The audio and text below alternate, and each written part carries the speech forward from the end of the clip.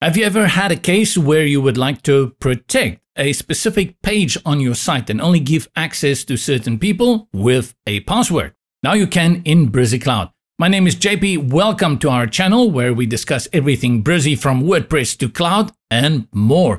Remember to subscribe, give us a like, and let's look at how you can protect your pages with a password. First thing you have to do is create a project, go into your project, and then naturally you will have a number of pages there. Let's say you go into your dashboard and from here you have a specific page, like let's say the project page over here, which you would like to restrict access to. Click on the project name and then over here on the right where you have the normal published, if you select, you'll see now you also have the option to make it protected.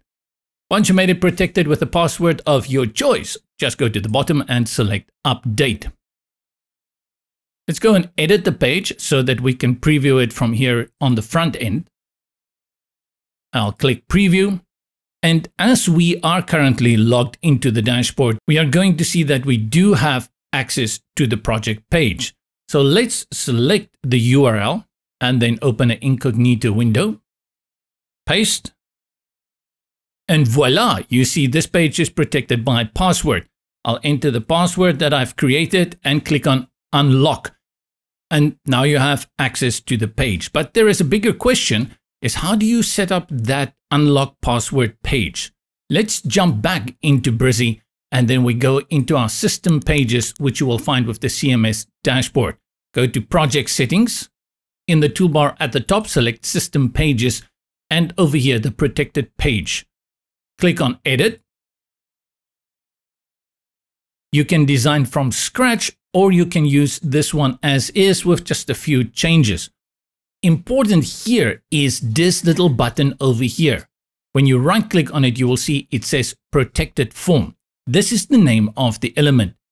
Go over to the add elements and you will see that under system pages, this new category gives you the protected form element. Let's drag it in and you will see as simple as that. It gives you a password with styling for text as well as color and then the submit button, which is just styling for the button. And this all works only on the protected page. That brings a little bit of security for the information you just want to share with maybe some of your members and a great addition to the already established membership functionality within Brizy Cloud. And before we say adieu, please remember to give this video a like if you found it useful or interesting and subscribe to our YouTube channel. Visit us at brizy.io and make your mark online effortlessly with Brizy. I'll see you in the next video.